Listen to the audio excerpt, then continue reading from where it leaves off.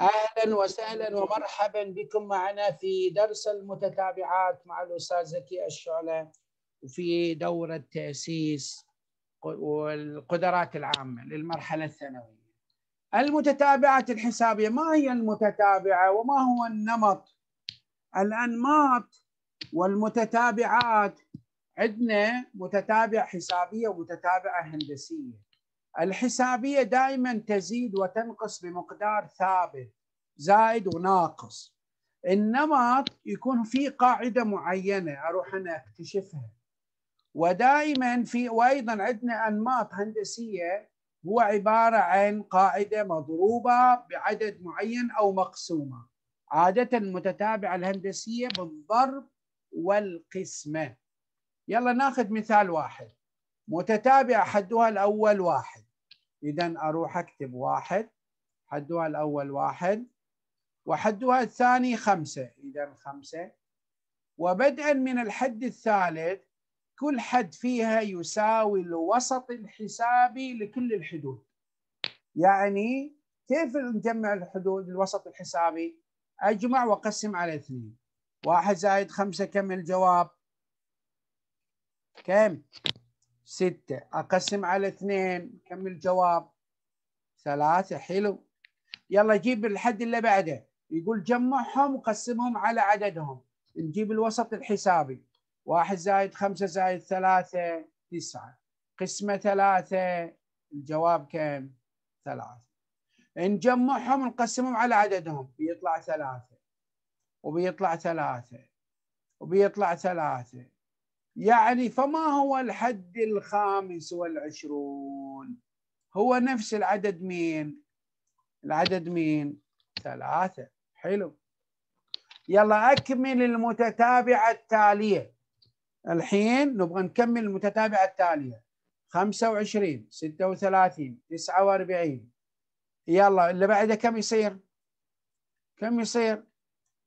64 لأن خمسة تربيع ستة تربيع سبعة تربيع إذا أربعة وستين. يلا اللي بعدها خليكم معاي. أكمل المتتابعة التالية. أعطاني خمسة خمسة عشر بعدين مية وخمسة وثلاثين.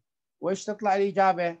هنا نلاحظ الخمسة ضربناها بثلاثة طلعت لنا خمسة عشر بعدين نضربها بثلاثة بيطلع الجواب 45 نضربه بثلاثة بيطلع 135 إذا العدد الناقص هو كم؟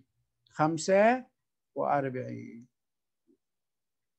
يلا اللي بعيدها في المتتابعة التالية 71 91 يلا الحين. 71 رايحة ل 91 وبعدين يصير كم هنا؟ بنضيف كل مرة تضيف كم؟ كل مرة تضيف 20 وهنا أيضا بضيف 20 بيصير الإجابة كم؟ 111 صح. 111 جميل. جميل. يا جميل. يلا أكمل النمط التالي. ما هي القاعدة بين اثنين وثلاثة وخمسة وثمانية واثنى عشر يلا اكتشفها. يلا يا بطل اكتشفها. ما بين الاثنين والثلاثة والخمسة والثمانية واثنى عشر ما هو؟ العدد المرة الأولى زيد واحد المرة الثانية زيد اثنين المرة الثالثة زيد ثلاثة بعدين زيد أربعة بعدين زيد خمسة. إذا كم الجواب؟ 17 صح. الإجابة 17 يلا السؤال اللي بعده. كم عدد زوجي بين 3 و 99 الأعداد الزوجية نصف الأعداد الفردية. إذا أنا عندي 100 رقم 100 رقم كم عدد زوجي يصير؟ إذا عندي 100 عدد 50 زوجي. وأيضا و50 فردي. يصير عندي كده نصفهم. إذا أنا عندي ما بين الثلاثة والتسعة وتسعين أصلا دي الاثنين راح والمئة راحت صح؟ كانوا خمسين راحت الاثنين وراحت المئة يعني كم الباقي؟ باقي 48 عدل وأقدر طريقة ثانية أروح أنقص. 99 ناقص 3 أجيب عدد الأرقام الموجودة يطلع 96 وأقسم على اثنين. كم الجواب يصير؟ 48 يا أنا أنقص يا أنا أقدر أكتشفه بطريقة ذهنية. يلا ناخذ بعد المتباينات معاه في نفس الفيديو علشان نعرف كيف طريقة حل المتباينات. المتباينات نفس طريقة المعادلات يا أولاد يا بنات ولكن هناك إشارة أكبر وأصغر. إشارة ماذا؟ أكبر وأصغر. هذه الإشارة هي اللي تفرق ما بين المعادلة والمتباينة. إشارة أكبر وأصغر. متى متى تتغير الإشارة؟ شوف انتبهوا ملاحظة. عند ضرب أو قسمة المتباينة في سالب فإن اتجاه الإشارة تتغير متى تتغير يا أولاد يا بنات؟ إذا ضربناها بسالب أو قسمناها على إيش؟ على سالب حلو؟ جميل يلا ناخذ مثال قال لنا في هذه الأسئلة ما قيمة السين التي تحقق ما يلي علشان أحل هذه المسألة عندي طريقتين إما أروح إلى الإجابات وأعوض أو أحلها. أحل المعادلة المتباينة. يلا كيف نحلها؟ أروح أقسم على كم؟ أقسم على كم يا أولاد يا بنات؟ على سالب اثنين وهنا على سالب اثنين. إذا قسمناها بيطلع لنا س. بدل كلمة أكبر إيش يصير؟ أصغر من سالب اثنين. ليش خليتها أصغر؟ ليش قلبت الإشارة؟ لأنه قسمناها على إيش؟ قسمناها على سالب إذا يطلع الجواب سالب اثنين ما هي العدد أصغر أو يساوي سالب اثنين؟ هو العدد مين؟ سالب اثنين أقدر أعوض أيضا سالب اثنين ضرب صفر يطلع صفر صفر مو أكبر من أربعة واحد ضرب سالب اثنين سالب اثنين وبعدين سالب واحد ما يطلع. بعدين بيطلع سالب اثنين مساوي. يلا المسألة اللي بعدها. سالب أربعة سين أكبر من ستة. أعوض كده يا أولاد يا بنات. أعوض. يلا نعوض الحين. سالب اثنين ضرب سالب سالب أربعة. كم الجواب يصير؟ موجب كم؟ موجب ثمانية. الثمانية أكبر من الستة. نعم إذا حققت إذا تكون الإجابة فقرة. ألف. حلو؟ معاي يا أولاد؟ معاي؟ معاي يا أولاد؟ جميل. جميل. يلا السؤال اللي بعده. يلا السؤال اللي بعده. إذا كان ألف أصغر من خمسة وباء أكبر أو يساوي من سبعة قارن بين ضرب ألف وباء وجمع ألف وباء. هنا أعوض بس قال لنا س أصغر من خمسة. يعني مثل مين؟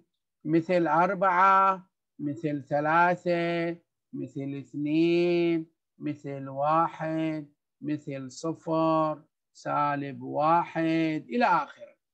وأكبر من سبعة مثل سبعة ثمانية إلى آخره. نعوض الآن نجيب هل الاحتمالات كلها صحيحة؟ إذا خلينا ألف أربعة إذا نقول أربعة ضرب البي كم عندنا؟ سبعة ثمانية وعشرين. حلو. حلو. وألف كم عندي؟ لنفترض إيه نفس أربعة زائد سبعة الجواب 11 أوه يصير في دي الحالة القيمة الأولى أكبر صح؟ ولكن لا تنسى أحيانا قيمة ألف ممكن تصير سالبة ممكن يصير صفر قيمة ألف. أي نجرب إذا كانت صفر ضرب سبعة الجواب يصير صفر. وهنا صفر زائد سبعة الجواب سبعة. أو إذا بيطلع الثاني أكبر. إذا لا يمكن تحديد القيمة الكبيرة. الأكبر للمعطيات غير كافية. يلا آخر سؤالين. يلا يا أولاد يا بنات. إذا كان س أصغر من واحد وس أكبر من صفر قارن بينهما. ما دام عندي تربيع يعني معناه إن كل الأعداد السالبة تصير موجبة. قال لنا أصغر من واحد أصغر من واحد وأكبر من صفر. يعني كسور كسور. ما هو العدد س اللي أكبر من صفر وأصغر من واحد؟ ما هو العدد؟ مثلا هو مين؟ هو نص. نجرب. نص تربيع وهنا نص تكعيب بيصير لنا الجواب واحد على أربعة هنا واحد على ثمانية. إذا مين الكبير؟ مين الكبير؟ واحد على كم؟ واحد على أربعة. الأول القيمة الأولى أكبر. يلا السؤال اللي بعده سؤال خمسة. مرة بسيط. سؤال خمسة بسيط. يقول لنا أوجد قيمة س الممكنة التي تحقق المتباينة. إما بالتعويض يا أولاد يا بنات أو أحلها. أنقل الخمسة للجهة الثانية. أنقل السين للجهة الثانية. س ناقص 2 س يساوي سالب س أصغر من سبعة ناقص خمسة. إذا سالب س أصغر من اثنين. أضرب بسالب إذا س أكبر من اثنين. عدل. عدل يا أولاد يا بنات. فإن قيمة س الممكنة. أوه لا يمكن شفت نتأكد. هنا عندي س أوه هنا هنا الإشارة كده أكبر. كيف عاد ما التفتوا؟ ليش ما التفتوا يا أولاد يا بنات؟ هنا عندي في المسألة أكبر. بعد ما قسمنا على سالب صارت إيش المسألة؟ أصغر. ما هي الأعداد اللي أصغر من اثنين؟ من سالب اثنين. أصغر من سالب اثنين. اللي أصغر من سالب اثنين هو مين؟ هو سالب ثلاثة. وأقدر بالتعويض. يطلع الجواب عندي.